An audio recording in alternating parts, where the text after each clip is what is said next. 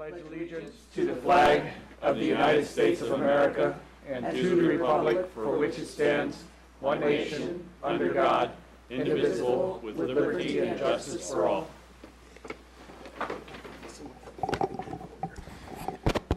Okay, roll call, please. Note for the record that all council members are present. Okay, adoption of the agenda. Is there any additions, deletions, or changes? Move to adopt the agenda. Second. A motion and a second. All in favor? Aye. Opposed? Very good. Got an operating menu, and first thing up is presentations and proclamations. Is a proclamation recognizing May 18th to 24th, 2014 as Public Works Week. And with us tonight, most of our crowd are our staff, and wow, look at them beautiful shirts out there. You guys looking, guys and gals are looking very bright tonight. So, I do have a proclamation here that I would like to read because uh, I think it was noted a couple weeks ago eloquently by our former mayor Ray Miller of uh, how Public Works is out there just as much as our police and fire department, if not more so. And the only time that you're really recognize is when we have a problem. And so you've been doing a great job. So since this is uh, recognizing Public Works Week, you know, as we recognize you, at least hopefully you know that we recognize you all the time, but uh, this is a, a special week of recognizing you. Says, okay, this is a proclamation of the City Council of the City of Brisbane recognizing May 18th to 24th, 2014 as Public Works Week. Whereas Public Works Week is a national celebration of the tens of thousands of men and women in North America who provide and maintain the infrastructure and services collectively known as public works. And whereas these critical services are provided daily by professionals who serve the public good with quiet dedication, and whereas the Brisbane Public Works Department is responsible for city and Guadalupe Valley Municipal Improvement District, storm drain, sewer, and water systems, all aspects of public roadway, roadway maintenance, traffic signals, public parks, playing fields, and landscaped areas. All public buildings, the Sierra Point Landscaping and Lighting District, the city's Office of Emergency Services, administration of federal floodplain regulations, ensuring compliance with National Pollutant Discharge Elimination System permit requirements, and oversight of the marina. I got to take a breath now. That's a lot. And whereas the theme of the National Public Works Week 2014 is Building for Today, Planning for Tomorrow, which recognizes the stewardship and sustainable practices that ensure continued quality of life for current and future generations.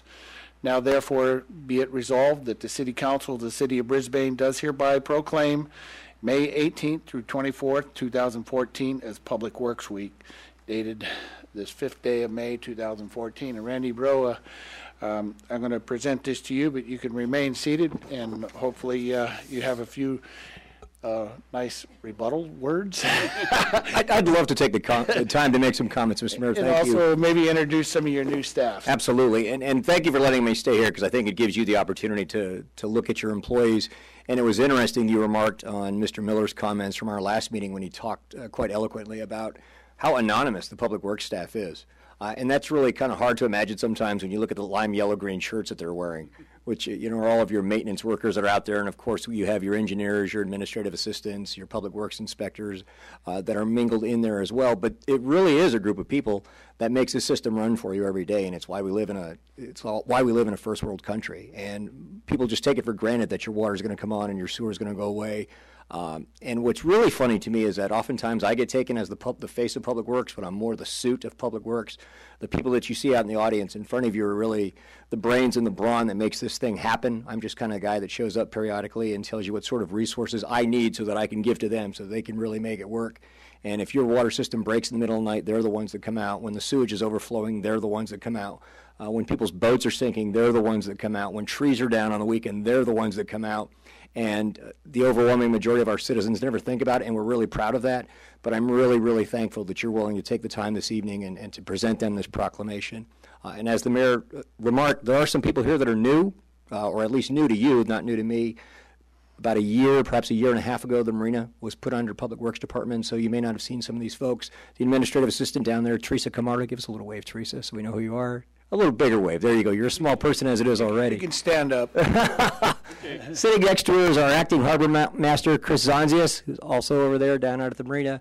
Sitting next to Chris is Chris Redfield, another Chris right next to him, a full-time employee. Todd Curtis, a full-time employee, been a part-time employee for a long time. You probably know him from his work with our baseball teams around town.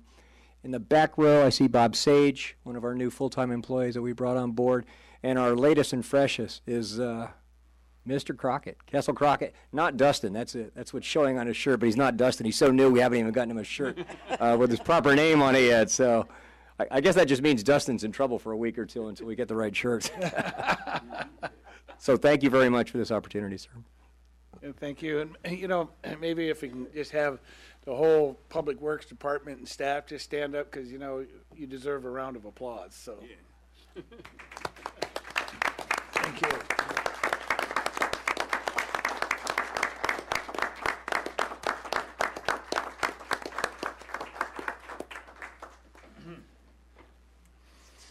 We do appreciate you, that's for sure. And you too, Ramiro. Thank you, guys and gals. Thank you very much. So, okay. Uh, unless you really want to stay, you can. But if you don't, now's the time to get out. Mr. Mayor, do we need to report out from closed session? Um, that's a good question, uh, Mr. City Attorney. I had a question from Mayor Pro Tem uh, O'Connell if we needed to report out from closed session. Yes, we do, and I'm prepared to do that. Okay, let's go ahead and divert. Thank you. There were a number of closed session items on this evening. The first was a conference with legal counsel, uh, amicus brief on land use issues, and in that matter, direction was given, no action was taken. Second item was conference with legal counsel regarding one case of potential litigation uh, pursuant to Government Code Section 54956.9. In that a- matter, direction was also given, no action taken. There were two other matters, the liability claims of Ramon Serrano and Fernando de Silva, and in both of those matters, action was taken and both claims were denied uh, during closed session. Okay, very good. Okay, back to presentations and proclamations. Item B, which is Jerry Lamy of Farmers Market. Come on up, Jerry.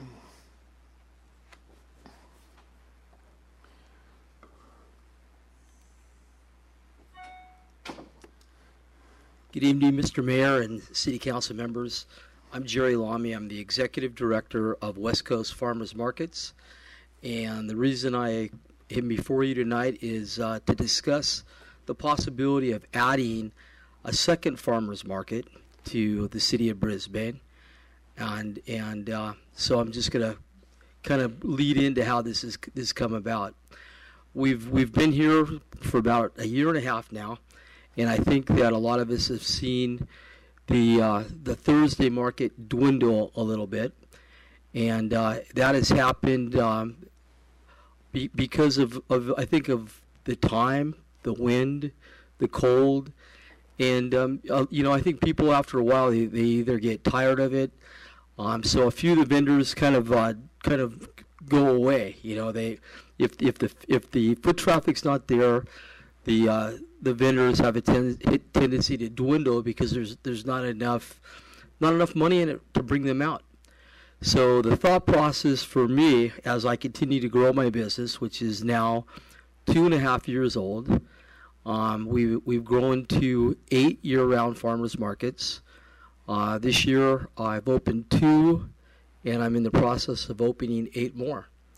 Um, some of the things that I've that I've done in like in San Mateo County, one of the things I'm looking at is we we work really really hard to try to change people's shopping habits, and if we are successful enough to get consumers to come to our to come to one market a week, a lot of times the strawberries don't last seven days They have a tendency to turn in three or four days.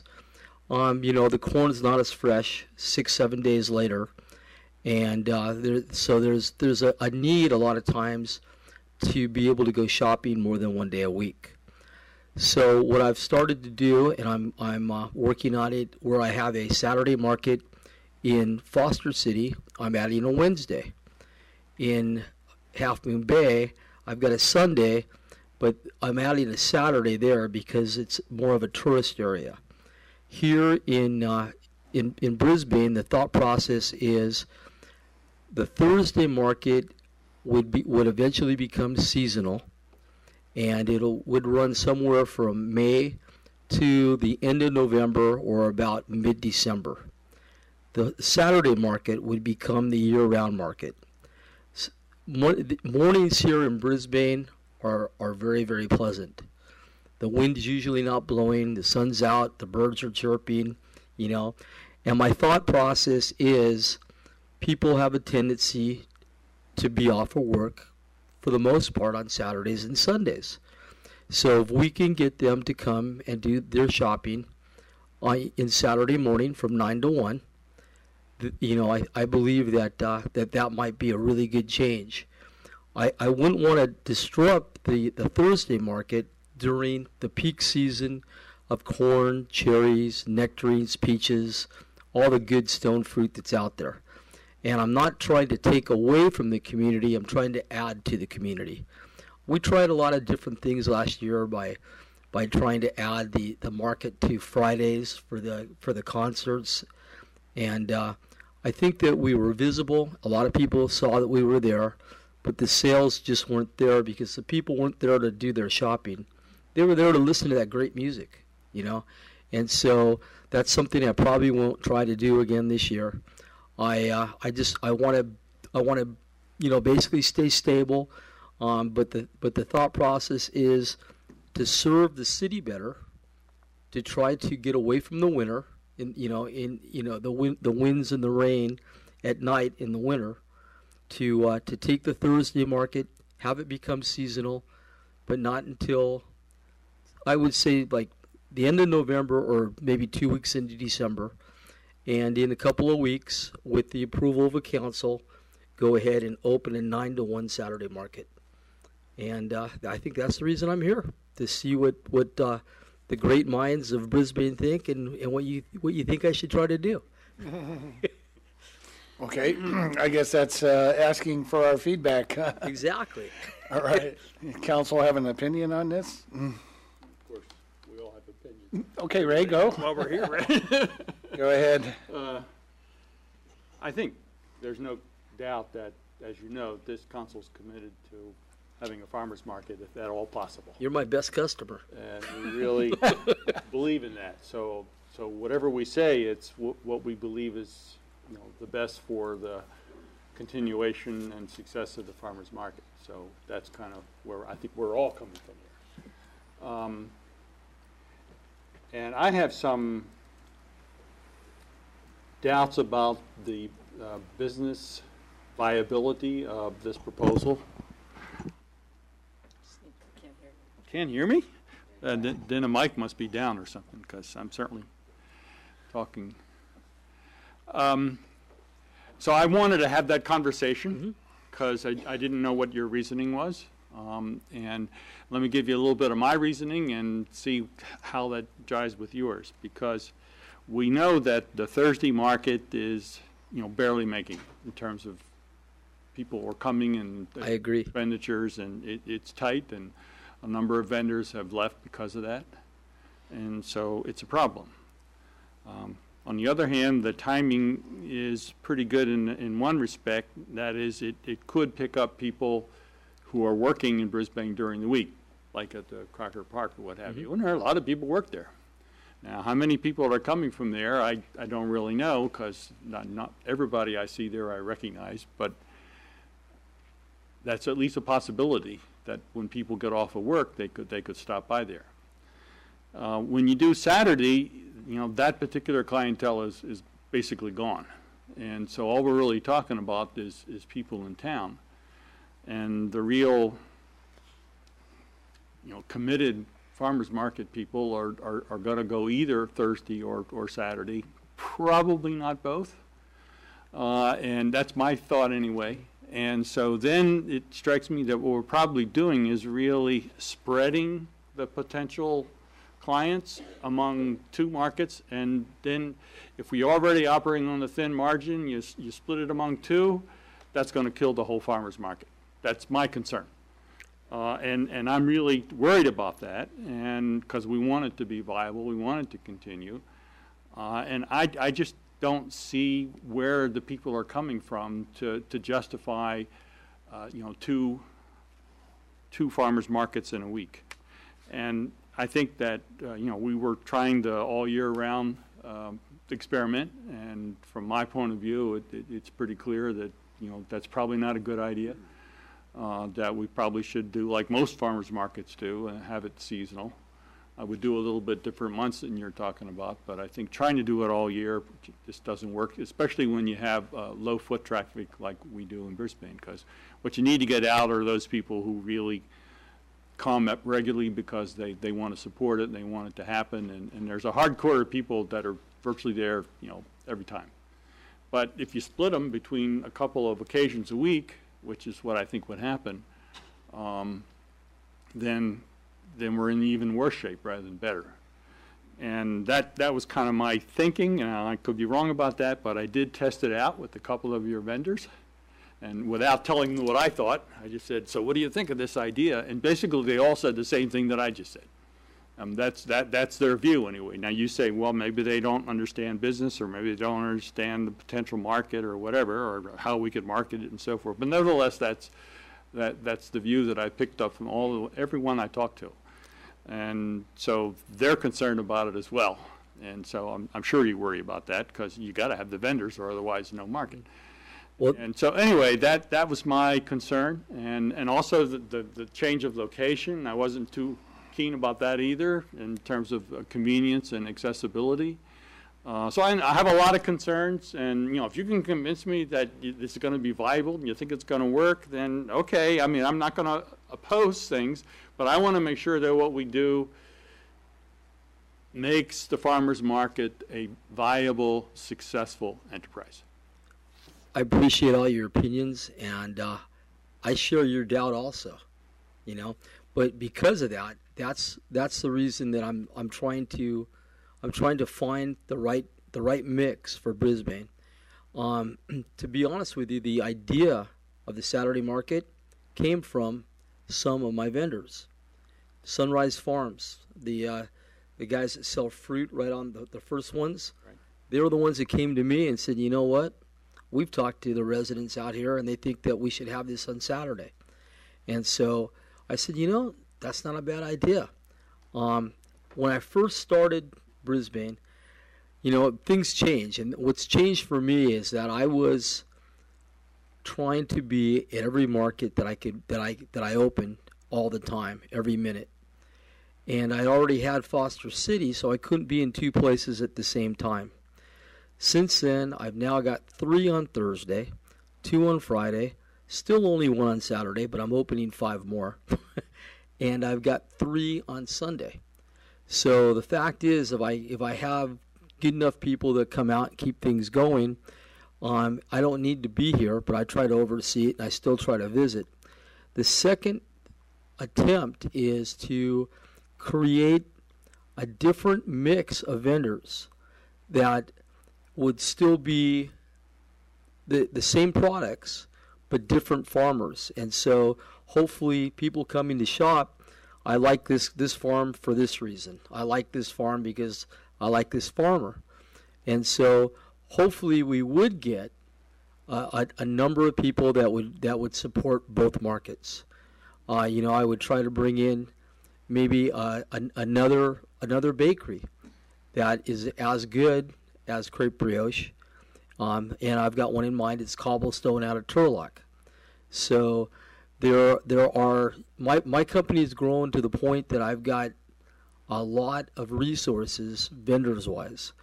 The problem is how far will they travel for X amount of dollars? And I share your I share your opinion. I share your fears, but I don't know which day is better yet because I haven't tested it.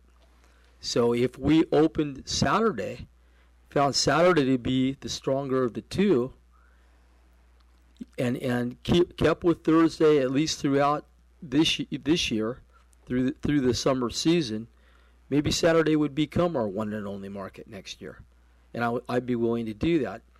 The only thing that I don't want to do is turn my turn my back on all the city employees and all the business people in town that have been supporting us, you know, on Thursday evening. And so I've thought about that too. And so I don't think there's an easy answer, but I think the best way to proceed is to test it and and to see to see how Saturday would pan out. And that's that's I was willing to to put the effort in, and uh, because Brisbane has been great to me, and I, I want to give back and, and try to serve the community the best I can. And so that's that's the reason behind what I'm attempting to do. Lori? So I also am a, a frequent user of the farmers market. Um, so I, you know, I have seen the, the crowds dwindle, um, and the weather, the wind does pick up. So I think switching it or you know adding a Saturday morning market might be a, a very good idea because of the weather here. Um, and you know, I I have had fruit go bad or you know get to the point where we run out and it's the weekend and I'll end up going to the store on a Saturday or a Sunday. So I, I think that there's a good point to that of people, you know, potentially wanting to use the market twice a week. Um, have you considered a market on a Sunday to space it out a little? Because Thursday to Saturday is only you know a few days.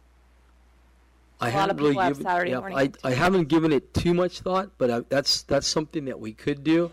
I just have to look into my bag of tricks and see what what, what I'm going to make my son work and where I'm going to you know put him and, and things like that. But um, yeah, as I could go to Sunday instead of Saturday. Because one thing I'm thinking is, you know, a lot of the people who use the market are, are families, and I know my, my family personally, we have our Saturday mornings like completely booked, but Sundays we leave open. So, um, you know, it might be a good way to get people who come to the park to use the playground if, you know, the market's right there or across the street. As I understand, you're going to locate it um, on Park Place, correct? I I think that we le- we lean toward Park Place in order to free up the park Okay, for for the residents of Brisbane. right. and so that's that's why we're going to move onto the street.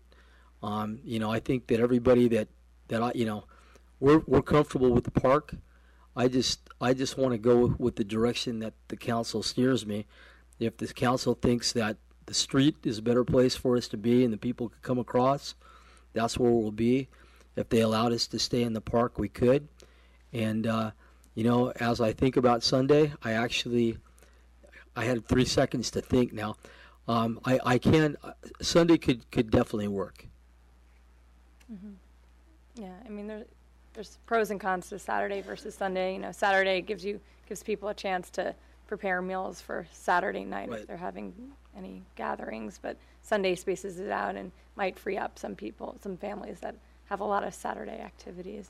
Um, so I, I would be supportive of the, the schedule that you've proposed. I think it's good to continue the Thursday market so that we can um, continue to serve the needs of the business Right. community and and also people who um, can't make the Thursday market if they're working late. The Saturday one would provide them, or the Sunday, whichever day it is, would provide them with time on the weekend when they are available. So I, you know, I, I thank you for bringing it to our community. I've No it's problem. been- it's been really wonderful to be able to just walk and you know. We- We've enjoyed being here, and and uh, thanks thanks to Brisbane, I, I'm in Carmel. You know, I think you guys showed how things can work in a park, and tomorrow night I get to stand in front of them in Carmel and talk about a move to the park. yeah. So that's that's kind of fun. Yeah, I mean, I, I agree with what uh, Laura was saying. You know, I, I think the two, two-day uh, option uh, could, could work. I mean, there's a lot of people that, um, I think might shop at the farmer's market more frequent, like, they had two days rather than, than one day. Mhm. Um, to, to load up, say at a traditional grocery store. Um, here, knowing that you know, the fruit might go bad a little bit sooner. Same problem. Oh, sorry. Oh, well, there you go. Sorry about that. um, yeah, no, that's, that's, Hey, really? there we go. You know, might, um, you know, spur more uh, activity. Um, and, you know, spacing the, the days, I think, is better too. Thursday to Saturday is kind of short, either Thursday and Sunday or Wednesday and Saturday. Um, you know, I like you in the park. I think it uh, adds, adds to the ambiance of, of the whole feel of, of the farmer's market. And, um, you know, ever since you came before us, I was, you know, always kind of scratching my head. Oh, I hope he knows what he's doing because I wonder if we can support you. Because um, this, this is something that I think the town has always wanted, and uh, I think we all feel very fortunate that that you have, you know, latched on to us and, and we to you, and and like um, Councilmember Miller had said, uh, we really want to support you and we want it to thrive and, and be vibrant. So, um, you know, hats off to you to, to, to try and come up with, uh, you know, a, another solution to make that happen. So I, I totally support you. Thank you, thank you, Cliff. And you know, thinking about what I've been working on. Last night, I was on the phone for a couple hours with a uh, a local fish camp captain out of uh, out of Princeton, and uh, telling them that I've got six markets that could really use fish. So she goes, "Well, you know, I wouldn't mind doing fish, but could I do smoked halibut and and uh, range-free chicken and lamb and some beef and some duck eggs and all these other things with it?" And I go, "Absolutely." So, you know, that she's looking to come. Um, Coastside Charlie, he's been out. The, our smoked salmon guy with his with, with a bad back, he's out recruiting. He's he's ready to come back. Um, one of the things that uh, one of the things by by going to two days, what we would do is we would bring in a little bit different mix of uh, of different different farmers, and uh, the variety would double. We'd have we'd have double variety here, and I think that uh, we we'll find out who the better ones. The better ones are the ones that are going to sell the most, and as we move into next year, then we'll know we'll know if we made the right decision and you know if a seasonal weekday market and a year-round Saturday market or Sunday market um, is a is a better mix, you know, then I think we're serving the city that much better. And and those those are the things I've been looking at, and I've been I kind of put myself into an expansion mode, and the next thing I got to do is restock all my all my vendors. And what happens a lot of times, Ray, is that when the when the, the big boys open up for, from the seasonal standpoint, and that's just starting to happen. We have people like Dalex, our our guy that was selling the meats and everything. He's he's running down the block and going to Burlingame. Last year he had a little bit more help, but his helper passed away. So he, you know, and he, he it's not easy to go out and find people that are compatible with uh, with with Dimitri. If you ever if you've ever dealt with Dimitri, so he's uh, he's out looking for some more help right now. And you know, our our toffee lady, she loves she loves it. She really loved it here, but I spoiled her by letting her try a couple other markets, and she found sales could be better someplace else. So I'm going to try to talk her into coming back at least once a month, you know, and and coming back and taking care of the people that got her started. So there's there's a lot of opportunities like that out there. Terry? Well, I wouldn't want to, to tell you how to run a farmer's market. Um, and so I think that you will know best what works once it, it um, morphs into something else or something combination. And I hope that we can support you enough that uh, you can stay in Brisbane. There's there's not there's not one person here that hasn't supported me. You guys are all great, and you know my crystal ball is just as good as the next person. It it doesn't work. so you know I'm I'm I'm looking to try to serve the community the best I think we can.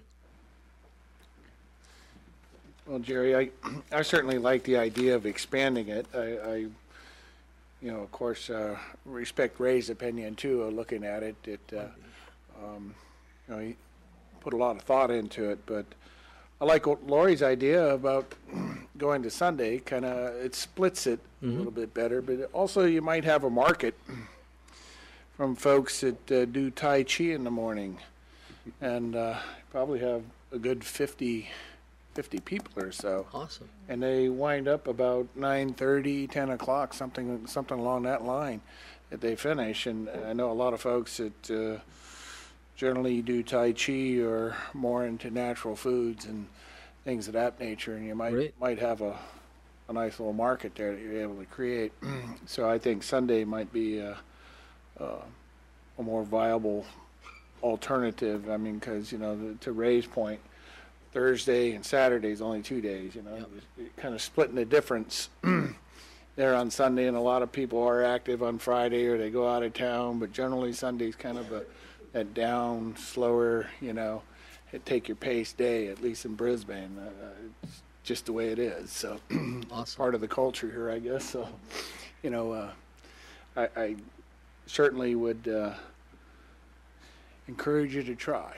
You know, Is- Is there a preference from nine to one versus like a ten to two?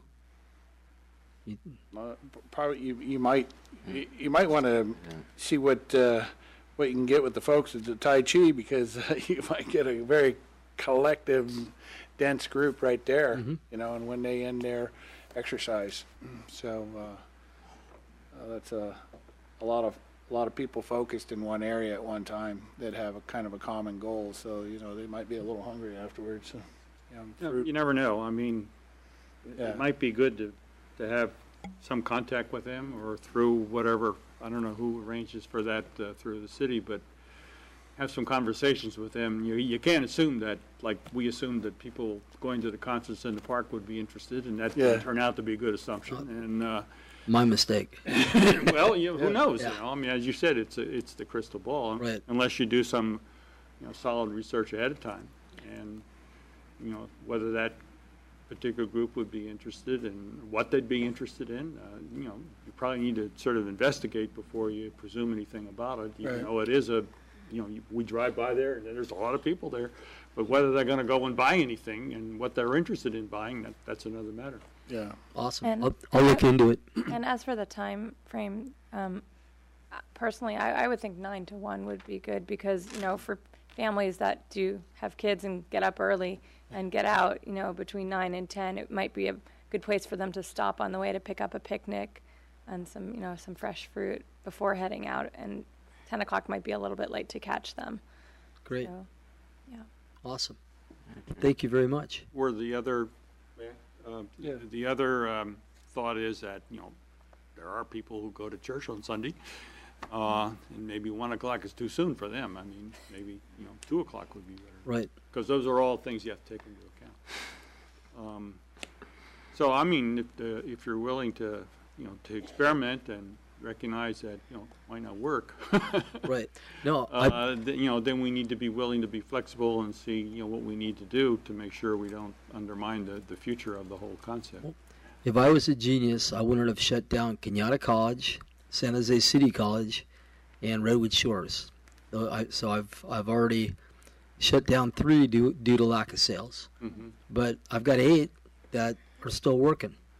And so, uh, you know, I'm, I guess my batting average is a little bit better than a baseball player. So, So where did the thinking come about moving from the park uh, to the street? Was that talking with staff or, that came from staff. Yeah, what, what's the reasoning Well, behind the, that? the issue To get is it that- clear on all the elements here. Sure.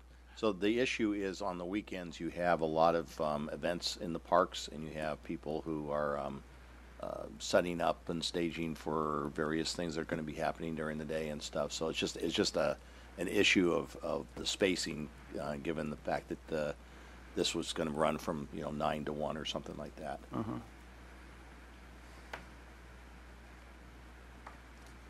Yeah, I don't know. I Is there any, uh, Caroline? Is there any other reasons? Private. Yeah, the private rentals of the park. I'm Big sorry, park? what? The, pri- the, what I just said, the private rentals of the park. So you, you don't think that there's enough room to accommodate uh, um, the farmers market on you know near uh, Old County Road in the park, and then let the uh, the parties be in the I mean, we can Southern take part. another look at it if, if you really would like to have it in Well, I the think, park. I think we kind would of identified a day collectively that it would be Sunday and just maybe have staff look at it. You don't have to look at it right now and then, Right. you know, Well, I- just come back and say, this is the time we, we agreed on. you know, I, I, while I really want a farmer's market to succeed here, I mean, our, our park really is a recreation opportunity. And we don't want to be stepping on the toes of the people that want to use the park as a recreation opportunity. It doesn't necessarily um, mean that it can't be dual use to a certain degree, but, you know, there are a lot of activities that, that could and should take precedence over a farmer's market because that's the, the use of the park and what it was designed for. So I don't think this is something that we should be deciding um, here tonight under the present context of a proclamation. I don't think um, the people in the audience really have been aware of what, you know, where the location may be. But, you know, if, if that's something that we'd want to consider, we should do that under an agenda item. Okay. Well, I mean, staff can, Yeah, Caroline reminded me that it's, it's not just the people who are uh, the, the market, but also the, um, um, I'm sorry, I got distracted there. Um, the, the trucks and stuff, that, the park on uh, San Francisco and stuff. So just, you know, there's just a, a fairly large footprint for the um, uh, farmers market and then the, cons- the conflict with the, uh, the private rentals and stuff. So, I mean, we can take another look at it and, you know, and see what else we might be able to do. Uh, but there's, you know, it's just an awful lot of things to push into the. sure. Short. Yeah, just, you know, you'll, you'll figure it out. I mean, if we're talking Sunday, you know, the post office is closed on Sunday too, so, you know, you might want to look at that opportunity also, you know, that it's adjacent to the park and kind of in sight distance, everything like that, it might increase its viability, you know. And I was curious as to um, who brings in the music. Sometimes, from time to time, at this farmers market and at others I've seen, there's some some people, you know, performing um, guitar or singing, and I think that's a nice element to bring to it. Um, We we bring the music in. We we pay the we pay everybody like ten dollars an hour okay. to be out there, and uh, we bring them in. Um, we stopped during the winter for a while, but now the music should be returning. Yeah. So if there's going to be music, I think having it on Park Place would be better because if people are at the park having music of their own, or you know, it might be a little distracting to have. About all the bands. right. Um, All right, thank you, Jerry. Thank you. Thank you very right. much. Clark. Thank All you, right, Jerry. Council. Thanks very much for coming. Okay, that brings us to oral communications one. I do have a slip from uh, Michelle Salmon.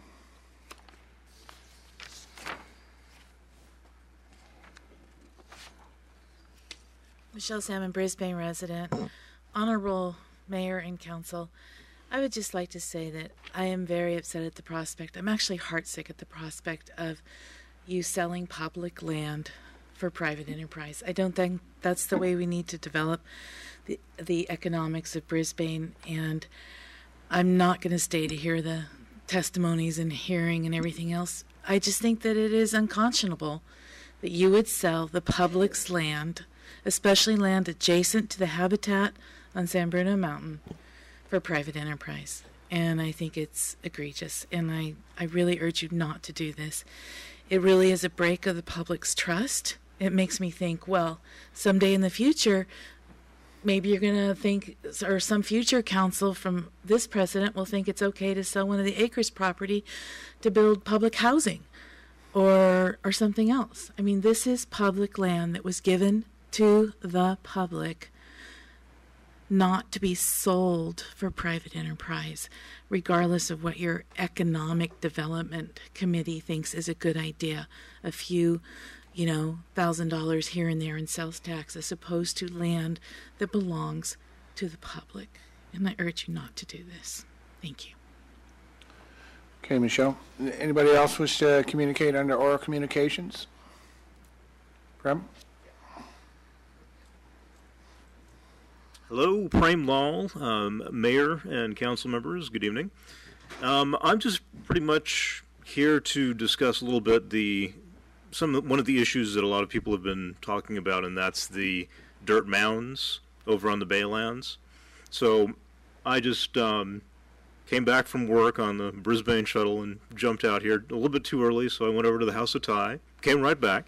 So anyway, um, I just want to make sure that um, when considering how tall these mounds are going to become and continue to build, that um, our city isn't overly influenced by Universal Paragon Corporation. I do realize that Universal Paragon Corporation, or UPC, um, contributes a substantial amount to Brisbane's general fund, approximately 13%, um, if I understand correctly from the article in the Luminary. Um, no? So what is it? Okay. That's what it said in the Luminary, so I'm just. Did you read the last one? No. Okay, all right. So, um, so you, you can correct me if that's completely wrong, but, Completely wrong. okay, so if. I thought I corrected it in the last luminary. okay, so I just pulled that one up, and s- if that's wrong, that's wrong. But I just want to make sure that our city doesn't become overly dependent upon um, any one organization, whether it's UPC or anything else. And um, that is just my main concern, because if we lose, lose control of oversight with regard to those dirt mounds or anything else, um, with regard to SunQuest property and its um, evaluation of the toxicity of the materials being used, um, then I think we have we'll get ourselves into a, a difficult situation. So that's pretty much what I want to say. Thank you, Prem. Anybody else wish to speak under oral communications? You, you might want to say that the item's not on tonight's agenda, Clark. Yeah. It is on items not on tonight's agenda, so. So we just had two speakers, but one had to leave, and Prem, that's okay. Haven't been here in a while. On items not on the agenda? Okay, now, now we don't have any hands. Good point, Cliff, thank you. All right, in that case, uh, we'll move on to the consent calendar. So anybody wish to remove anything from consent calendar, or do I get a motion? or- Move approval. I'll second.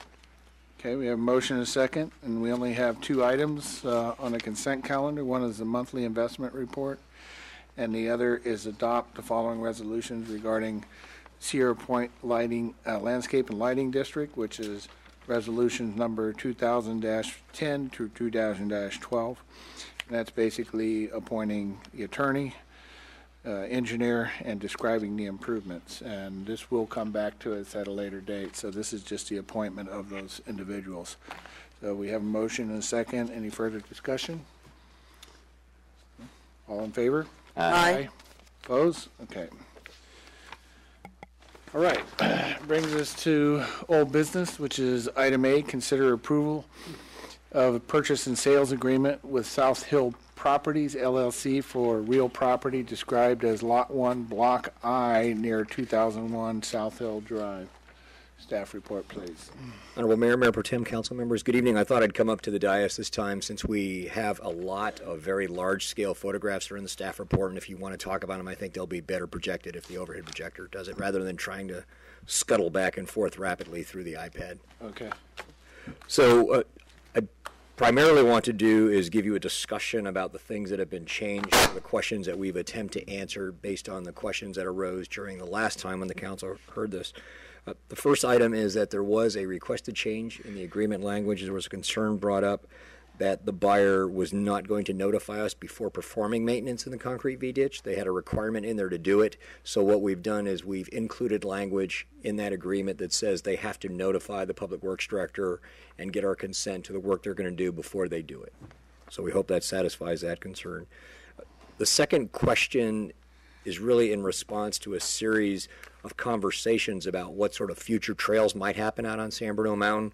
So what I've included in the staff report are a number of copies. Number one, there's a single copy of the San Bruno Mountain Master Trail Plan that's been provided. And then what we've attempted to do, to the best of our abilities, is to, because it's at an odd scale, and we have drawings, we have ortho digital photographs of the mountains. So what we've done is brought those to as close a scale as we've could and made an attempt to overlay that future trail that's closest to where this parcel is onto that.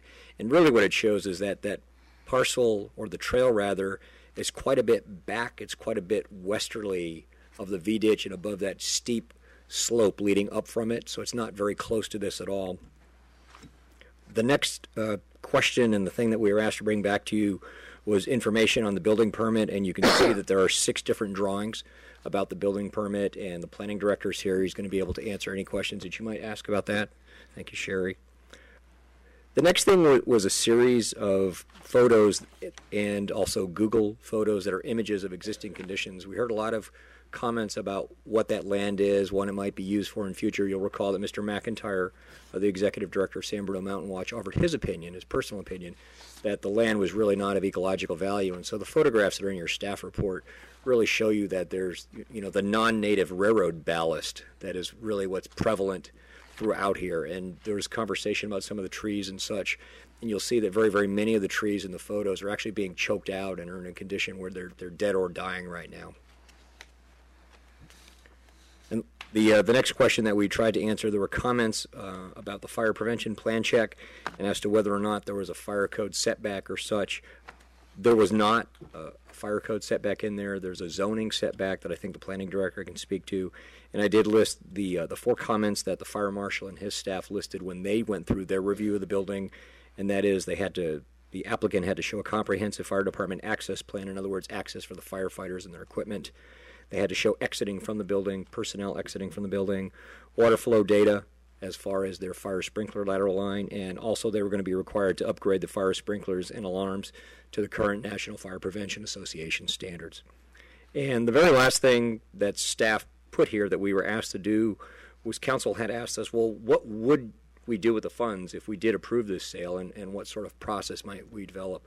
So what I've listed in there is that it's my opinion, my recommendation to you, that the council should direct your appointed bodies to develop a proposed list of uses, including budget amounts, as candidate projects for you to consider at a future date. And it was my opinion that you should direct this to the Complete Street Safety Committee, you should send it to the Open Space and Ecology Committee, and you ought to send it to the Parks and Recreation Commission.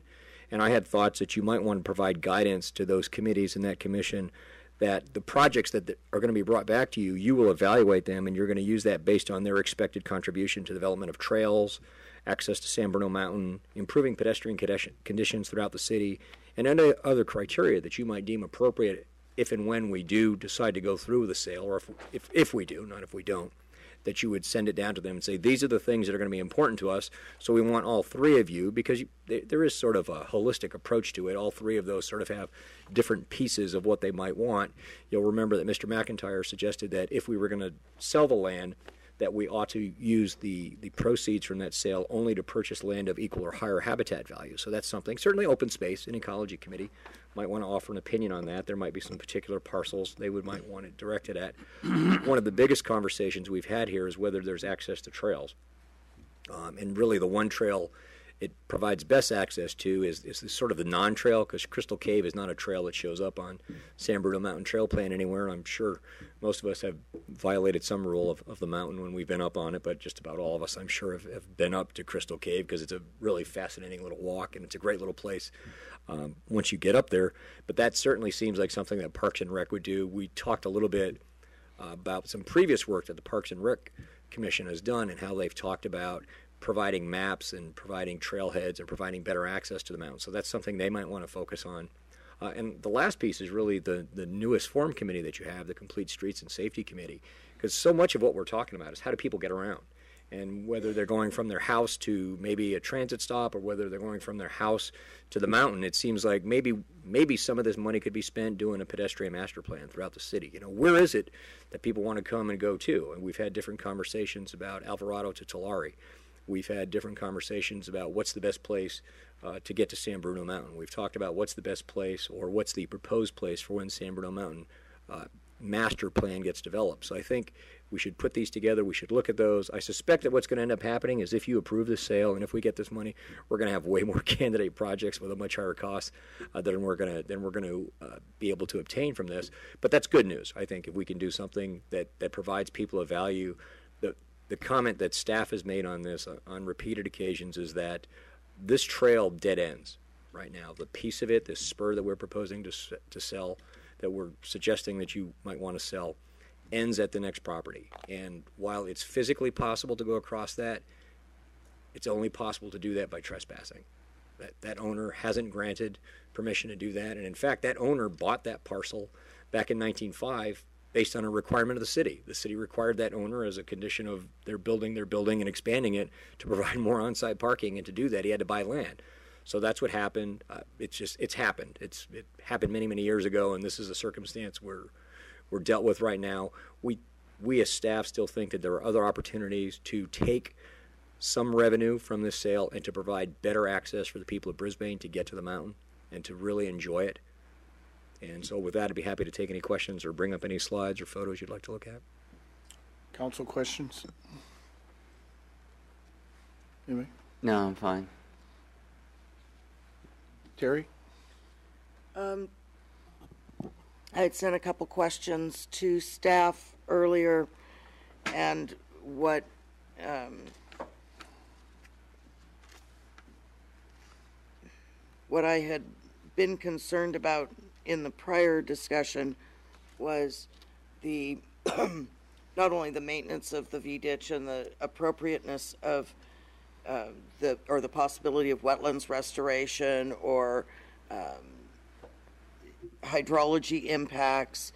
And so I think that with the change that we did get a little bit more access to the ditch itself, but only at the um, actual site of where the the catchment basement is. and I had tried to convey, and I guess I didn't do a good job, um, that I was trying to get an easement that ran the length, um, more a length of the actual V ditch, so that there could be access.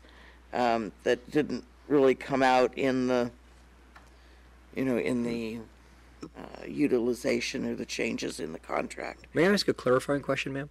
Just, uh, I'm trying to make sure I really understand what your intent is. So, is this in, in regards to um, being able to create some sort of future V Creek like we've done back along Cypress? Is it? That's that one what of the, are? So one of the things, yes. Okay. Um, that is, and, and I was glad that we got the explanation about the fire buffer not being an issue. Um, looking at the other, um, the other property, it, it is obvious that, that that is, you know, taken over and, and we don't have an easement across that. And so the tr- trail is forced to dead end. Um, but one of the, for me, one of the beauties of what we have in the rails to trails or the old railroad spur lines is, you know, the continuity and that it gets people off the street and onto an adjacent area. And so, um, I hated to even contemplate giving up those those recreational opportunities and the um, so um, I appreciate the uh, the thought that we would get an opportunity to see what V ditch maintenance they were going to do before they did it or put in, impose V ditch maintenance. But um, I was thinking more of the enhancement or the access to be able to do something with the V ditch originally. I, I, I, I appreciate, no, no, I really appreciate those comments, ma'am. I, I have to be honest, I didn't capture that um, in your remarks at our last meeting, and I apologize if I missed that. I, I think it's fair to say that that V ditch has already reverted back to a natural state at this point in time. You you could barely walk through it right now. It doesn't look. It, it's not the uh, the L.A. River of concrete. As you walk through it, it's really really overgrown. Unfortunately, it's overgrown uh, with some natives as well, which I'd like to see come out. But, but that's one of the interesting things that I think we've talked about before. Like we've seen what's happened at 100 Cypress by putting some of that native material that was planted there uh, intentionally, and it, we've really seen an improvement in water quality at the far end of that. And we already see that improvement in the water quality at the West Hill Detention Basin. I mean, I'm sorry, the South Hill Detention Basin, as a direct result of the fact that it's kind of overgrown and there's really sort of been a lack of maintenance on it. But it, the vegetation is doing exactly what it should be doing. It's become a wonderful filter. So I, so I think we're we're kind of there already. Um, so I don't know how to respond to your question about, or what I think your question is, is, is would there be a way for us to go back if we wanted to really, really restore it to native, if if the property owner wanted to do that? I, Well, I I- would I- suppose that if we asked him to at some future date, as long as it didn't in, increase his maintenance financial responsibility, that that might be an agreement we could come to. Well, I, uh, my concern was that if we only have access to say, yes, it's clearer, it meets our standards, instead of actual access, and, and the only additional access was a little bit more access right at the catchment basin itself, was what looks like it changed on, on the contract map. Um, and so, that would have made me more comfortable with it if we had retained some of the access so that even though we may dead end at this point, there's always the chance that we could find a way around that access point that, that was sold out from, without our knowledge, before we knew that that could be a trail. Um, so I, I, that was my concern originally. Understood. Thank you.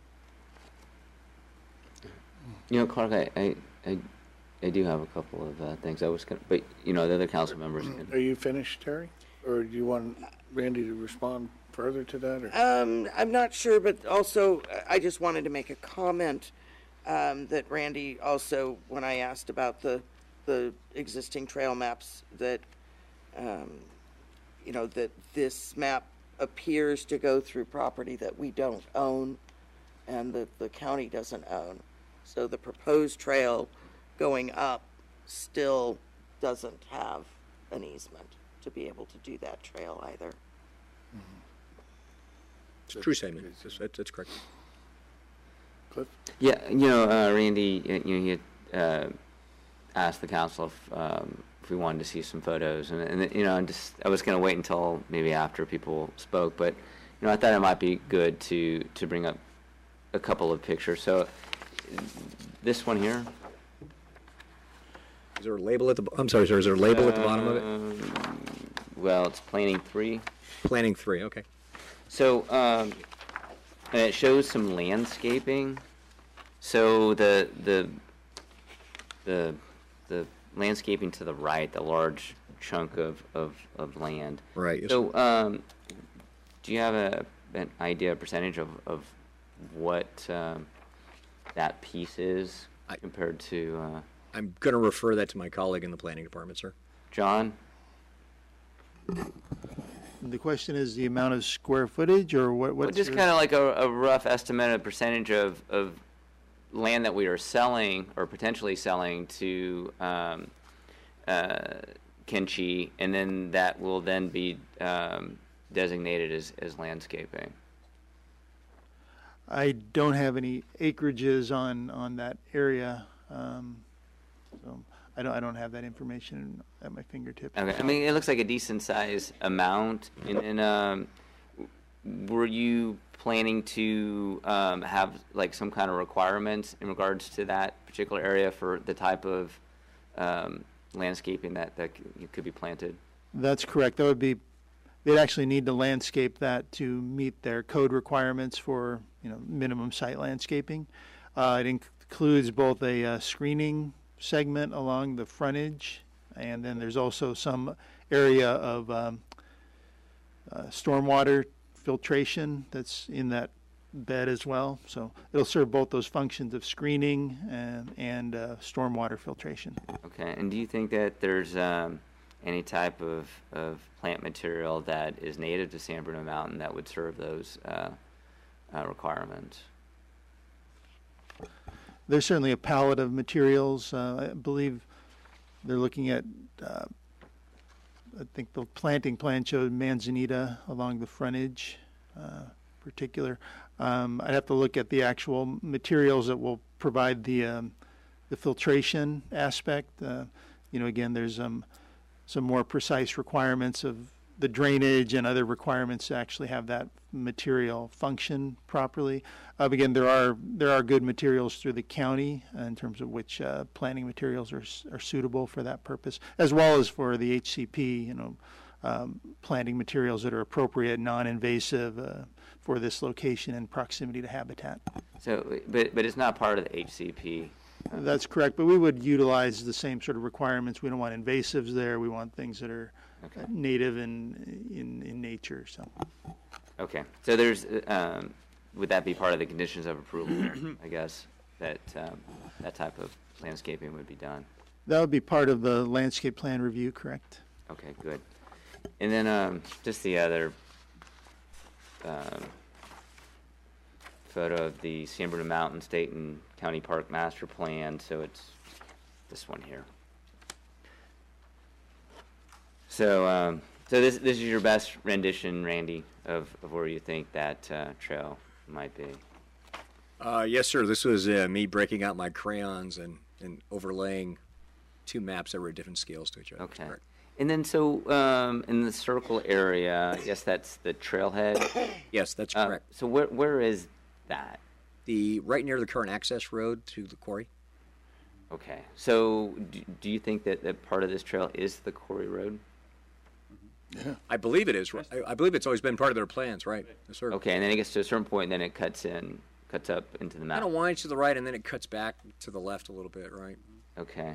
You know, that one notch that's just south of um, this property is, um,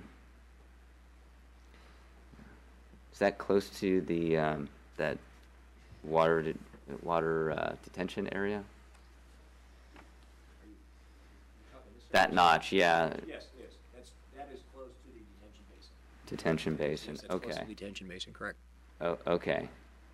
So, And if you've been up there, I mean, that's a really, as you get to our detention basin, you look, you could see why, because it's really incredibly steep slope. It's really thickly encrusted with all sorts of vegetation. So it's It putting the is. trail up on the top of it, and so you're not on a very steep side slope. It's it's looking for a fat, a f- fatter, a flatter spot at the top of it. Right. got it, okay. All right. All right, thanks. Sir. That, that's it, Mr. Mayor, so far. Is that it, Cliff? Mm-hmm. Lori? So I had a chance to ask um, a bunch of questions and get answers. Is that me? Technical difficulty? Um, Electric personality on the microphone, perhaps. And, and I was I was happy to see that there's the um, you know written into the agreement as we had requested in the last meeting about any that, that there would be um, review and approval um, by the city before the V ditch is maintained and cleared out. Um, and I had asked about the landscaping, um, and my understanding is that it would actually um, enhance the landscaping because it, it would provide additional screening and, as you said, filtration, and that there would be a, a landscape ma- maintenance agreement so that if this property is ever sold, um, this would, you know, these requirements to continue this landscaping would, would run with the land, and any future property owner would still be bound, which, which I think is, you know, it's good to know. Um, and one um, question I had was about the fire prevention. So looking at the, the plans um, submitted to the planning department, there's the, this um, approximately 10,000 square foot property addition, which comes pretty close to the V ditch, and as I understand it, there's no setback requirement.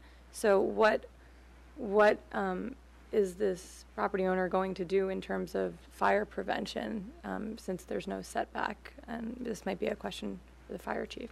So Deputy Chief Johnson might want to answer what the uh, equipment ingress and egress is on that.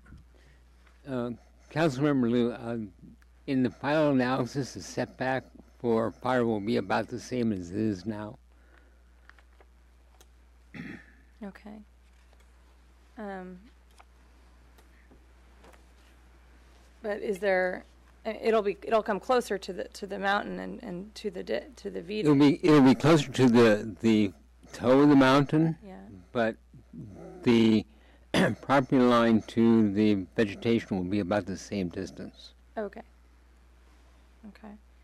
Um, and then um, I actually I, I met with um, Ken from Mountain Watch, um, and we had a meeting uh, last week actually with city staff. Um, he had asked if we could meet, and he wanted to talk about some potential ideas um, for providing access uh, to to people who want to get access to the trails for hiking. And initially, we talked about, you know, well, what if we could put an easement on the property that we're considering selling that goes like through the parking lot, maybe adjacent to the V ditch, like a five-foot strip for walking. Um, and we talked about how, you know, once you get to the end, you're going to reach the property that, you know, we no longer have, and the grade is quite steep on the other side of the ditch. That pedestrian access, we, we thought would just wouldn't really make sense. So the idea that you know we, we sort of all talked about um, was providing access at the end of that other street. Is that Park Hill Place? West Hill West Place. Hill Place, excuse me. Um, and, and Randy had suggested um, potentially getting you know seeing if that the the property owner at the end of that street would um, allow the city to have an easement, an access easement for pedestrian access, and then putting street parking at the end of that street for the public. So I, I, I like that idea, and, and it sounded like from what Ken said that the trails that were actually accessible were the ones that led from the from the end of the road um, out towards Wax Myrtle. Wax Myrtle. Um, he thought that those were more likely to be developed in the future, um, and would more be, would be more likely to be used than potentially the ones going up the steep grade to Devil's Arroyo and Crystal Cave. Um, so I, um, those are that was just some of the conversations we had, um, and know, I, I'll save any other future comments to after the public has a chance. But thanks. Ray, you have anything to add? Um, I haven't, I, my questions have been answered. Uh, I mean, I have comments and views, but I think we should have public uh, testimony uh, before we start deciding how we're going to proceed. But uh, I had a couple of questions, and they've all been asked. Okay, I do have a couple slips here. Uh, First one is Renee, Renee Marmion.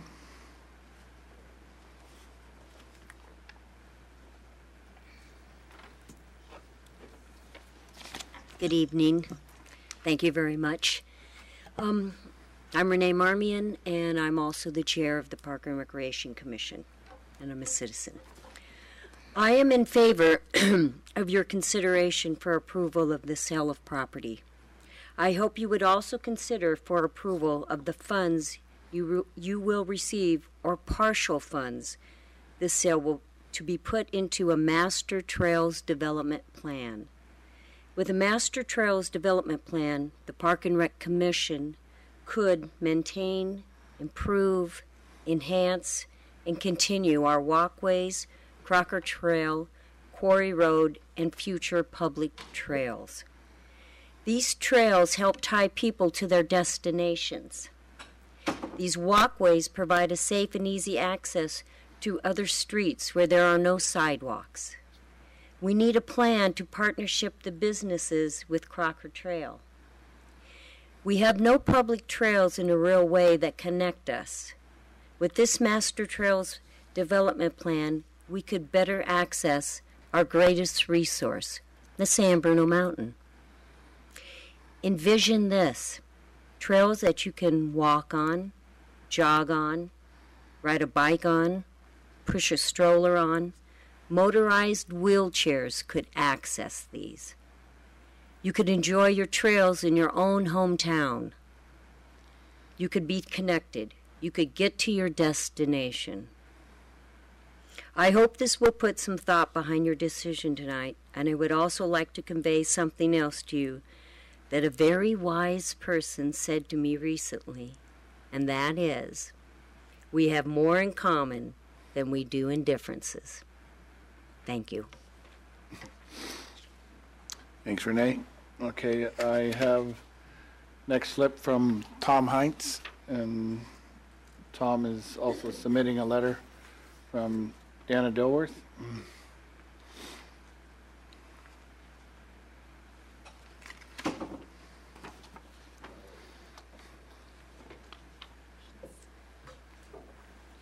Good evening, Council. Um, I'll do my statement first. Once again, I'm here to speak about the acquisition and privatization of public land by confiscation. It's rearing its ugly head again. Even if the city attorney says it's okay, I once again suggest you seek a second opinion. We've had public trust attorneys here to speak to you about doling out public land, public property, our property. If need be, I can bring them back to speak to you again. Or I can point you to videos of their testimony. I'd hate to see the city spend needless uh, dollars on a lawsuit that could be prevented. When I look around this room, uh, not only tonight, but, but other evenings as well, I see many familiar faces. I'm speaking about out here. Other than those being paid to be here, these familiar faces are the people that care about Brisbane. They are your constituents. They helped you, they helped put you in office, believing in you to carry out and uphold their values. They keep coming back to let you know when you're on track and when you're off track. They are the canaries in the mines. They're not your enemies. Listen to them. Yes, the lot next door was sold, perhaps by a council not, not as enlightened as you. Let me ask each of you if every single square inch of your yard is filled. My assumption is probably, like most of us, no. Perhaps you're planning to put a fruit tree in that far corner in the fall, or a larger garden next year. Just because this parcel of land is not currently planned doesn't mean we don't want it. It's public land. Do your children know that you're about to give away public land? We're not suggesting the bakery leave Brisbane. They want to expand? Fine. There's plenty of vacancies available in Crocker Park. We don't want public land going to private enterprises. That's why it's called public land. Especially at this bargain price. You know, that was the cost of a conforming lot in central Brisbane 10 years ago.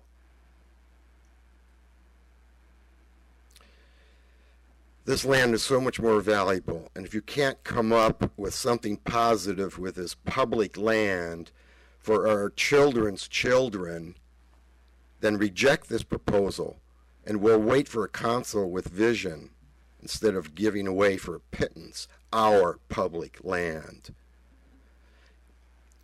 Public land for sale without public approval, something's wrong with this picture.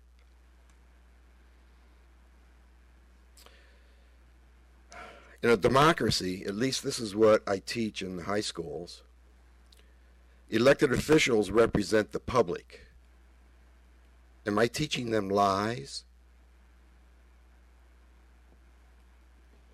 The way I see it, if you grant them our public land, you are admitting we don't have a democracy here in Brisbane. Thank you. Thanks, Tom. No, I'm Dana Dilworth. Changing hats there? Voice. Wait, let me. Um, to the city council, I ask that you consider not selling our public land. There are many reasons, many already stated, but the primary one is that the location of this property is adjacent to rare and endangered species habitat subject to HCP regulations. If you take the Google bird's eye map and zoom out from the staff report's position, you will see that this property is in the watershed of three ravines coming together. When this rail spur area had been abandoned, and before the group removed the metal from the abandoned rail line, the native plants that had returned to the area were, and excuse my um, pronunciation, Garrya elliptica, Ceanothus thyrsiflorus, Orthocarpus floribundus, and native rushes in the stretch from Dolby Building to the Shenki buildings. The native birds observed were quail and turkey vultures. You have not properly reviewed the environmental quality and value of this property. There were frogs in and near the man-made detention basins, and the public would like to see these natural features remain and be enhanced, not considered unplanned and underutilized. This is another case that neglect from the city means the environment suffers. We do not want this wonderful area turned into a parking lot. This is just for parking? Have other alternatives been considered? Have other parking plans been considered, like three-tier lift racks, parking off-site, or expansion towards the street, two-story, not single? What a sad day when you can't see the environment before the greed. You have undervalued the property in many ways and would like we would like for an independent appraisal before any sale takes place. Keep in mind the citizens have the right to referendum and redress. Thank you. All right. Thank you, Tom. Anybody else wish to speak on the matter? I don't have any more slips here. Not seeing anybody? No takers? Okay, let's bring it back to uh, council. Okay. a Couple of questions. Probably. Um, It's from Dana Dilworth's letter, and is probably for you, David. Says, uh, you've not properly reviewed the environmental quality or value of this property. Is that something to be reviewed? Uh, Cer- excuse me, certainly in, in looking at whether to proceed with a, with a sale of a piece of, of, of property, I mean, one of the, the issues that the, the council would look at would be the value to the city, the environmental value, but it's, it's not the same thing as uh, environmental review under CEQA, which would be a project the city would be undertaking or someone else would be undertaking. So I, I don't have the letter in front of me. Uh, to the extent that there's an, a request or uh, an allegation that there's a requirement for CEQA, uh, full environmental review before this is, is undertaken, uh, I don't believe that that's correct. However, certainly the environmental value of the property uh, to the city is something that is one factor among all the factors that the, the council considers in whatever action it takes. Second one is, is um, the last, the last sentence in Dana's letter is, um, did the citizens have a right to referendum and redress on this if a sale goes through? If the council votes for a sale?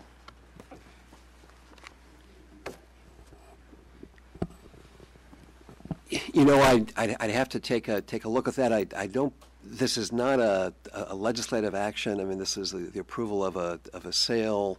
Um, I'd have to look at that. I couldn't answer that without taking a look at it.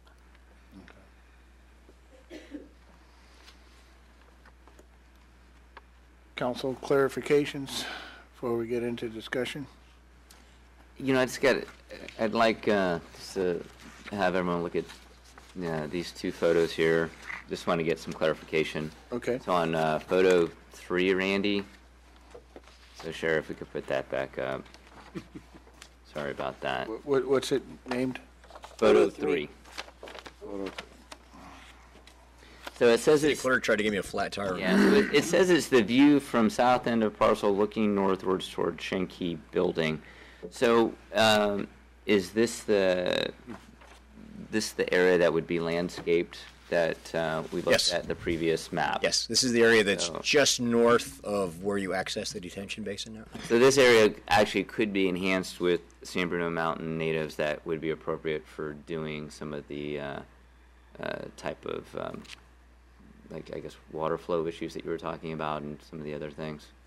Let me be careful about how I answer that question for you, sir, because so part of the challenge with having to provide on-site infiltration and detention right now, per the requirements of the Regional Water Quality Control Board, is that you have to have certain flow rates through there. And there are certain plants and there are certain materials that have been tested and they're demonstrated to do that. I don't know how many of them are necessarily native. Um, so what we're going to want to do is make sure that they meet the requirements of the board, which is to retain and treat a certain amount of water. So that's why I'm, I'm hesitating a little bit. I don't want to give you No, I understand that. definitive Okay. yes when I'm All not right. sure that's the answer to your question. But this area here that's green and that's open, it's gonna stay pretty much. It's going to be enhanced. That that's part of the area that they are going to have to do a professional planting plan on. Okay. And then uh, photo number four. So that's um, this shows the uh, water retention basin entryway. Yes, sir. That's the driveway leading into it. Correct. Okay, good. So then f- photo four and photo three are then connected to each other. Right. So if you went if you went through that gate with that very effective chain and the two bollards there, Yeah. I believe you could dr- jump that curb in a Prius, right? But if you went through that very secure chain gate and turned to the right, that's where the previous photo was taken from, Got it. and looking in that direction. Okay. So if, if you're on the street and you're looking at what we see right now, um, and the council decided to move forward with the mm-hmm. selling of the property and the owner did their remodel, did their parking lot, this green view would still stay intact. It's going to be It'd enhanced. be enhanced. It'll be I enhanced, know, correct. but I mean, right. it- so some of the, you know, the non-invaded, the Yes. non-natives that are there. I mean, the But I mean, eucalyptus will you're come still down going to and- see a, a green. It's still going to be green. That's absolutely correct. Yes, sir. Okay, that, that, that's, that, that was it, Mr. Mayor, just wanted to make sure that that was clear. Thank you, Randy. Certainly clarification. Any other council clarifications? Okay, let's, Be happy to come up. Would you like to see any more photos? okay, we could bring the lights up, Sherry, and, and, uh, start our lively discussion. Okay, who wants to go first? Don't jump out there. Let's start from this end. Boy.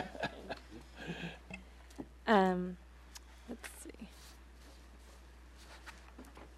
Well, a- as Cliff had just mentioned, you know, I think the fact that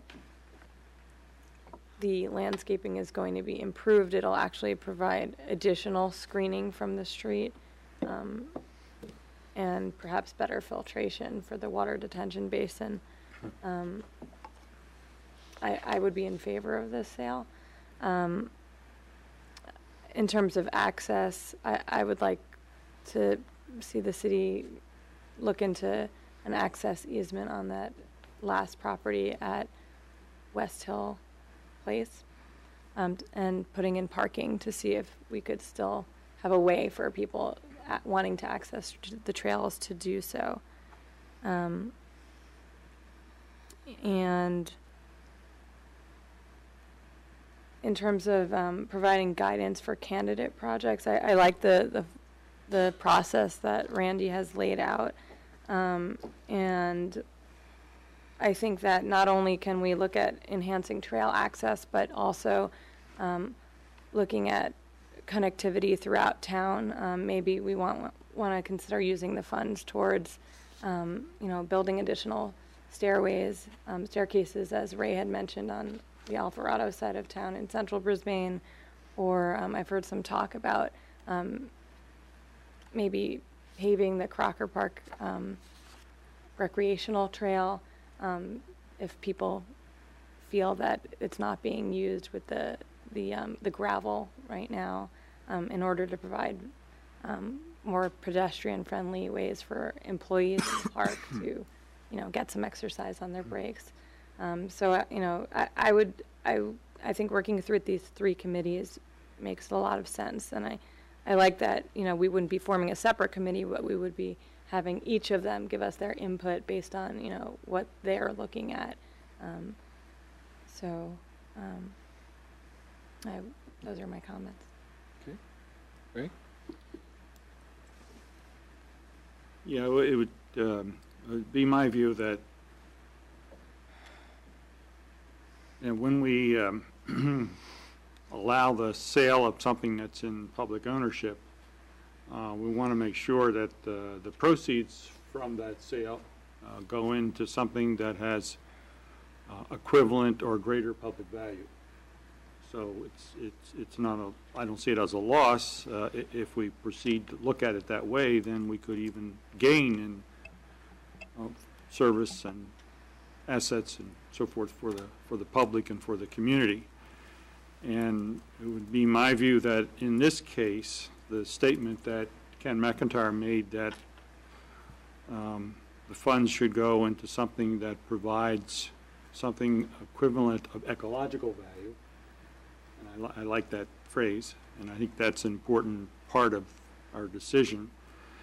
And then I would even maybe be more specific as to what we might mean by that, because after all, we've acquired this land uh, uh, as a part of the abandoned railroad legislation, and that really uh, is interested in the development of trails. And that's what that legislation is about. And so I would almost go so far as to say that when we get this, the funding uh, uh, comes through from the sale, then we should really dedicate it to that realm of, you know, public trails. Uh, And we have those advisory committees to, to decide whether there should be a, a master trail or it should be um, an acquisition of an easement like Lori was talking about, or, or whether it should be maybe some easements uh, for the trails on the mountain, because there are some trails on the mountain that go through private property as well. And so it might be the way to get access there if the people refuse to sell is to, is to gain easements. That sometimes you can acquire through purchase. So I think there are a variety of, of trail possibilities that would be ecologically important to the community. And it does seem to me that it probably doesn't really include a complete street safety committee. I think the two groups that are most into what I was just talking about are the open space and ecology and, uh, and parks and recreation, because they do trails, as both of those groups do, and not, not the complete street safety committee.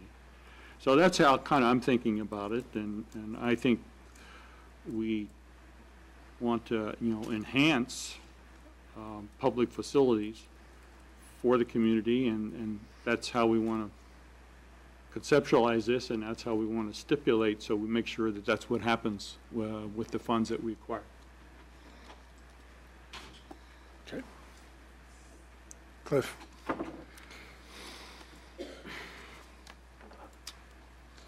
You know, one of the things that was said uh, tonight about about selling public land, you know, that it is a, whenever you do something like that, you have to make sure that you're doing the right thing and that you're evaluating the options that are out there. And I don't think anybody on the council would take that lightly whatsoever. Um, you know, I, I didn't ask uh, uh, staff to put up the picture of of the part of the parcel that would be turned into a parking lot. That would be part of, I guess, the uh, the the remodel of, of, of the property, but it, it's it's in pretty bad state. You know, Ken McIntyre, the executive director of, of Mountain Watch, stated as such that the habitat value is is low. Um, so then, if so, if if if we're going to move forward with with the selling of this property, as Councilman Councilman Miller had mentioned, and also Councilwoman Liu, that, you know, the money should go towards something that is, you know, that makes things better. And is that uh, purchasing some acres in the Brisbane acres to get better habitat? Is it working towards, uh, you know, enhancing our trail system? Um, as uh, as uh, Park and Rec Commissioner uh, Renee Marmiot, uh, you know, talked about, you know, here we have this Crocker Park Trail, but the accessibility of it is is not very good, and this is where this parcel is being sold. Um, you know, if you're someone who is in a wheelchair, if you're someone who wants to ride your bicycle, you you you, you can't be on that trail. Um, you know that that. And so, you know, you want to think of ways that you can make it better. Um, you know, the our city engineer talked about you know bringing this this matter if we do sell the property to our Park and Rec Commission, our Open Space and Ecology Committee, and our our, our Complete Streets uh, Committee.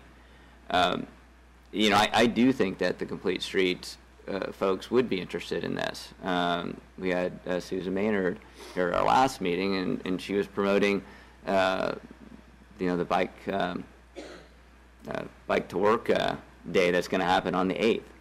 And if the Crocker Park Trail had a bike trail similar to, say, if you're at um, uh, the Camp Sawyer Trail, all right, where you can ride your bike, and then on either side of the trail there's uh, crushed granite, and so you get that, you know, the the ability to walk on a soft surface, and you're able to ride.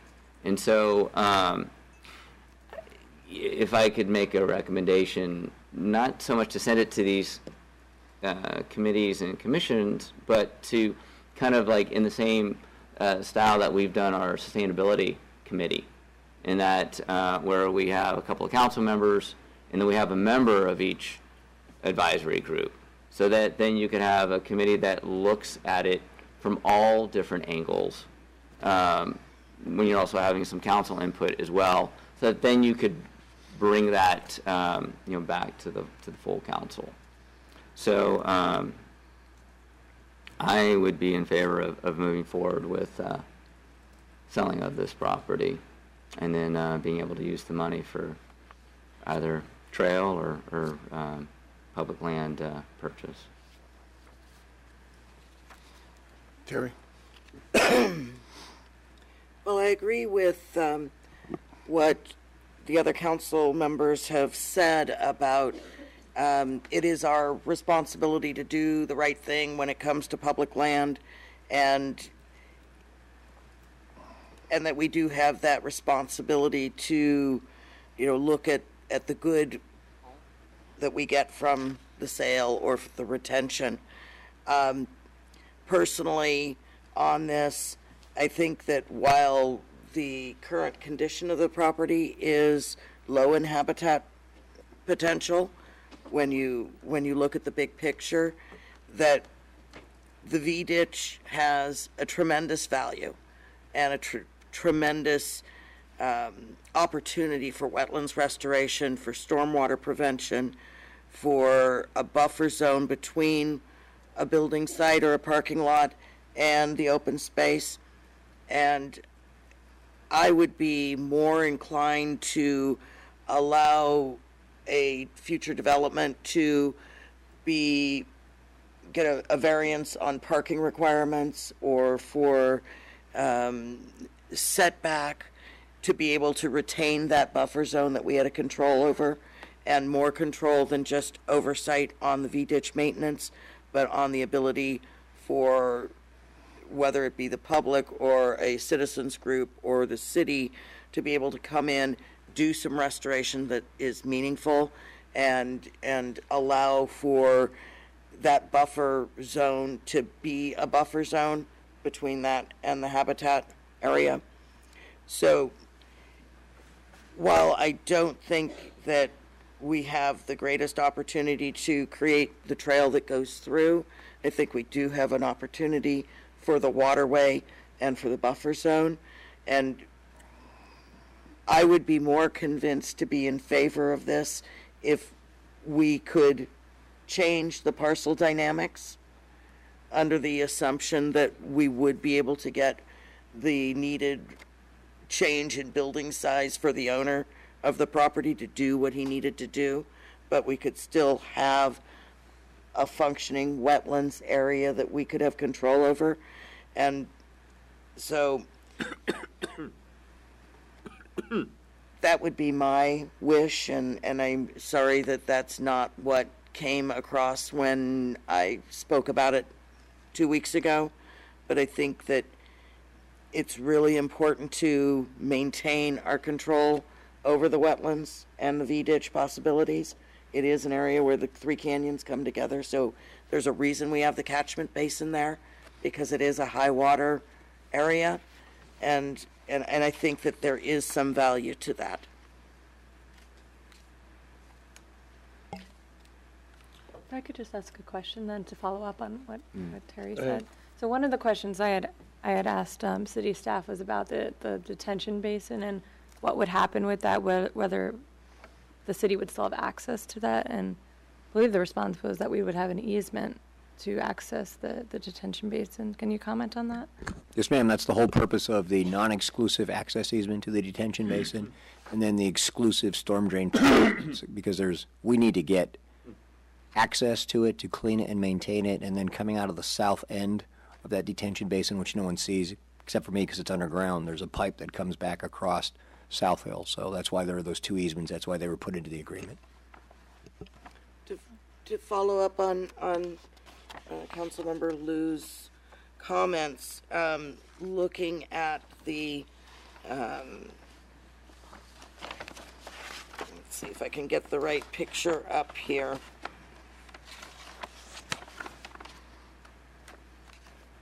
Do we need magic hands for a photo for the public? I'm looking at you. The,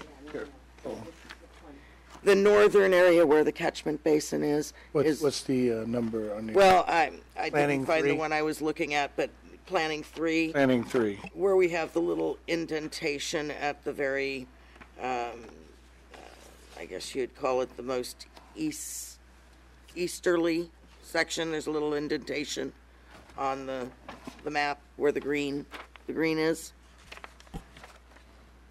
Showing where the, that's where we have the complete width of the access for maintenance of the catchment basin. Correct. So it's that little indentation, there's, there are three arrows on that photo. Right. And if you come over, I'm putting my finger up to the screen, about a finger's width to the right of the rightmost arrow, there's that little indentation that you're talking about. Sherry, move up just a little bit. There you go, right there, right above that uh, lovely painted fingernail. That's the indentation. That is the access easement to the detention basin.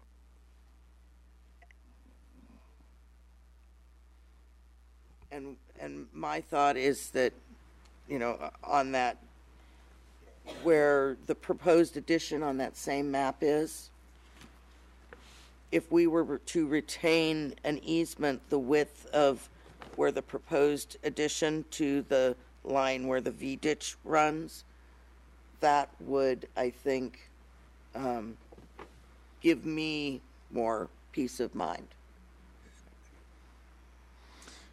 I'd- I'd point at my screen, but you guys couldn't see it. It, I think, make sure I clarify it. I think you're talking about the length, the length of it, the length of the. V. The V- length of the parcel. Are we talking in here, man? No, no, I think she's talking the whole length. Whole length Go, of the go to, V-ditch. the whole length of the V ditch. So what is the nature of the easement we will be getting now? The nature of the easement we are getting now is access to the existing detention basin. Oh my, So that's, so let me slide, hang on. I didn't break that, I promise. Yeah, I know. Sherry's gonna abandon me with all electronic toys, this is gonna be embarrassing. That's all right, you can point. map. So I'm a civil engineer, not an electrical, I can't. So this is the access easement, so it comes all the way over to here. And then this area here is where the detention basin is. So this little cutout here actually is where the detention basin is underneath those trees. Hmm. So they're, they're not going to own the detention basin. We retain that. The map No, that- it still doesn't, uh, if I'm picking up what you're talking about, uh, is that the question is, you know, what is the nature of the easement from the catch basin all the way through the V ditch on this property here?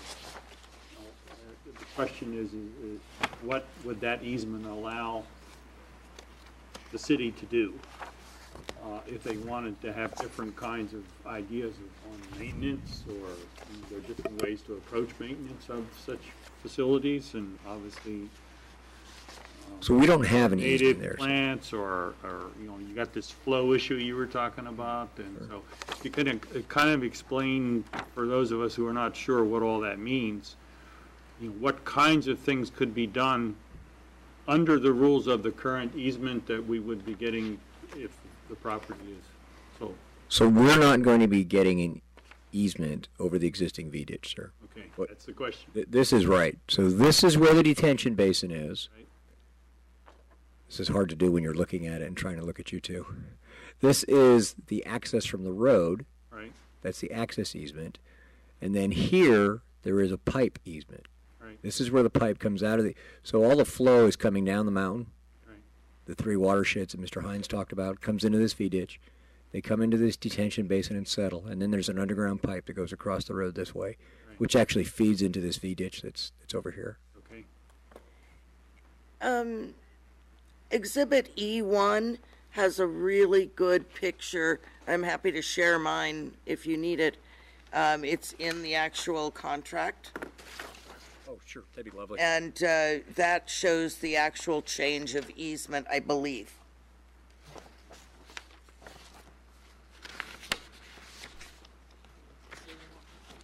Uh, sure, that might be helpful.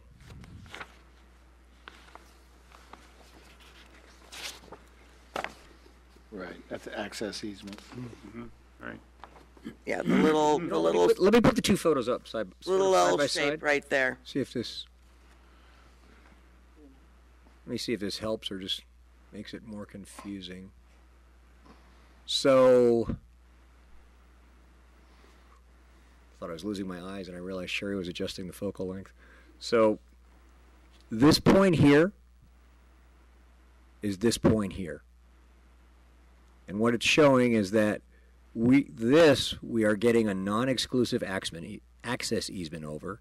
This piece of land is not being sold. That little square is this little square here. And the reason we're getting such a big non-exclusive access easement here is that when we need to get into the detention basin, we need to access it with equipment. Frequently, we're in there with a backhoe, we're in there with trucks and such, so we need an area to dump the spoils and such. So that's what that's for.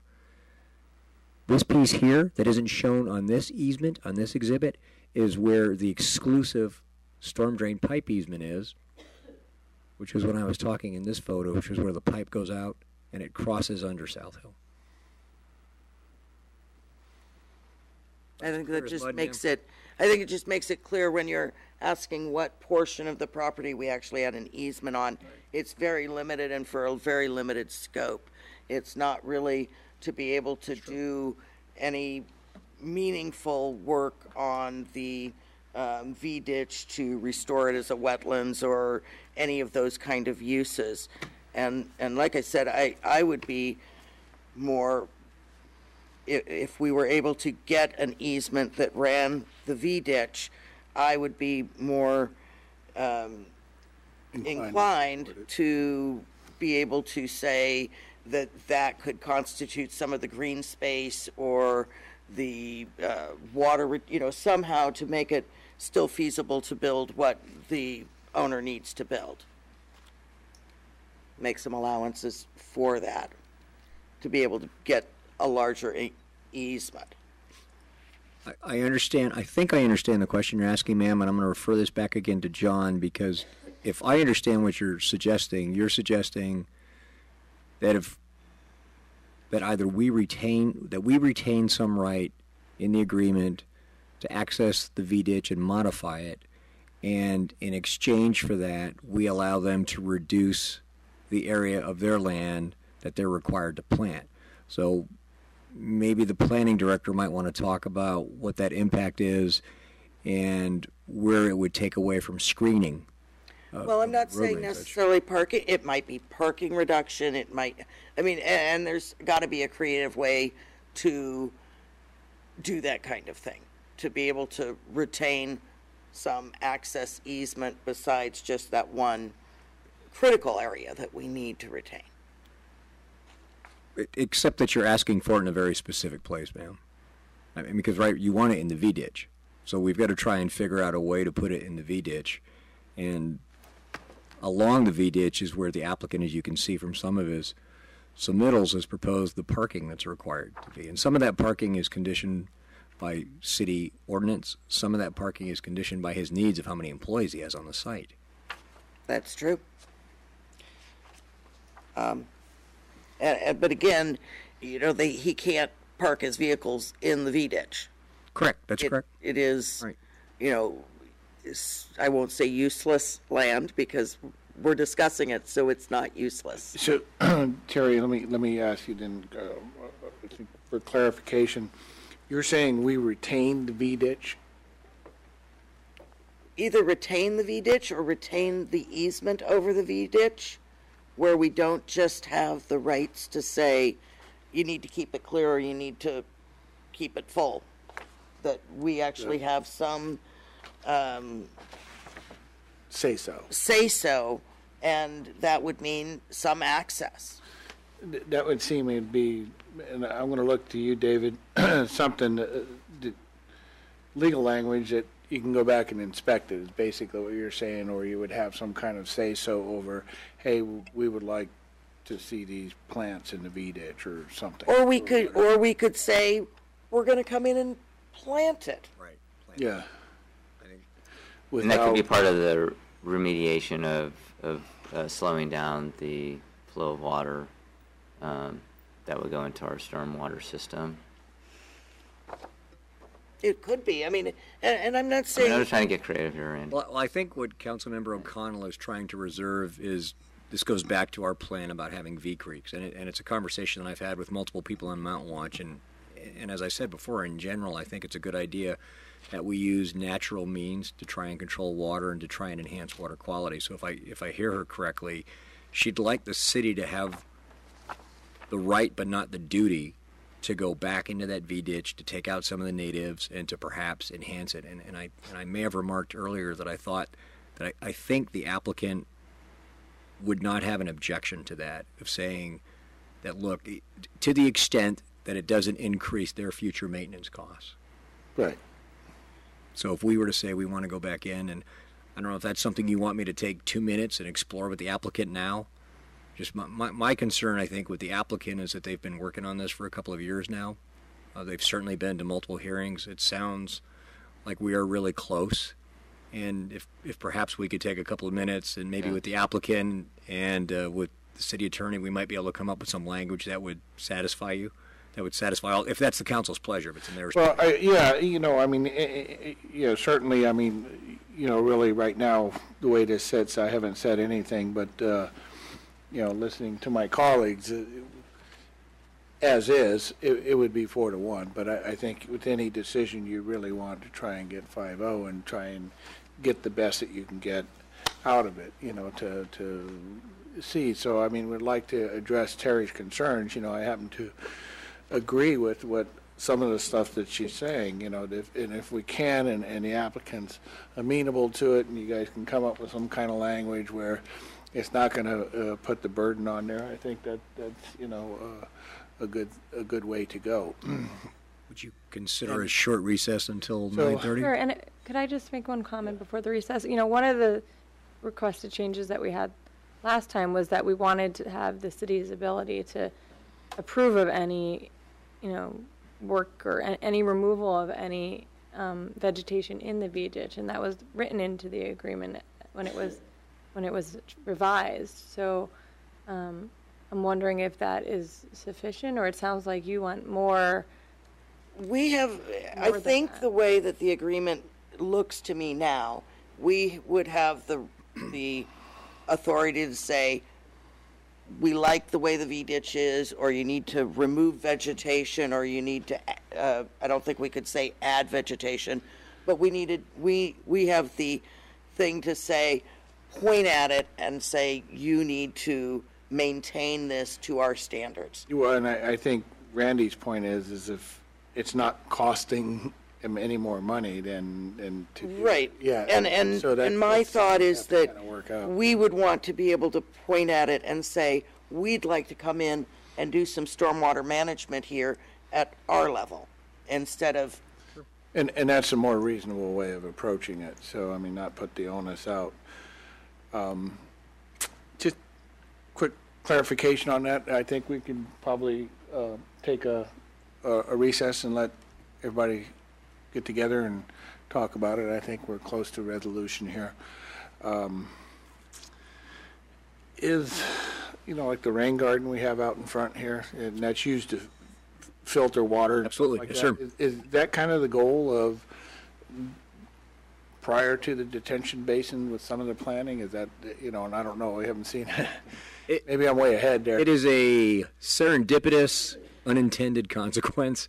It's just from a lack of maintenance that, that the ditch got overgrown like that, and it just turns out to be a beautiful thing that it Right, I mean, quality. going forward though, I mean, would the. Well, going forward. Actual plan be to. Going forward, there's a requirement on site for them to develop it to meet the board, and I think what the language we are trying to propose to to, uh, to assist Councilmember O'Connell with this is to allow us to go back in the V ditch and do that as well. Right. The property is already going to have to do it as part of this. They're already going to have to manage their flow, and I think Councilmember O'Connell would like us to go back and to be able to manage this V ditch, this concrete V ditch, in addition to the flow-based treatment. and it may not happen. I mean, we may couldn't, you're right. go on to something else, but I, I would like that opportunity that if we can. Okay, I, I think, I think we're clear as mud here, so. I, I feel like I've got good direction, so I understand it. I think it's great. All right, and let, let's take a break and then let you guys work your magic and go do other things. So let's take, take about five or 10 minutes. Thank you for sticking with that. Um, that makes sense. I, I, I like where you're coming from. Yeah, and, and